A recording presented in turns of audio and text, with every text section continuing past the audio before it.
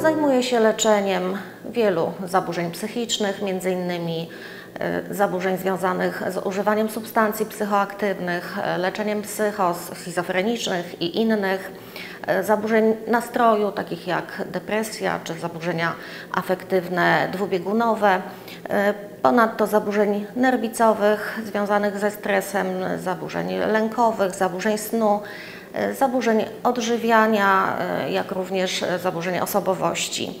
E, Ważne w mojej pracy jest także e, zajmowanie się e, osobami nie tylko młodymi, ale i starszymi, którzy e, e, cierpią z powodu objawów e, wynikających z organicznego uszkodzenia centralnego układu nerwowego, e, zaburzeń pamięci, zaburzeń otępiennych. Mm, Lekarze często zapominają o tym, że poza ciałem pacjenci mają także e, coś takiego jak życie psychiczne, czyli psychę.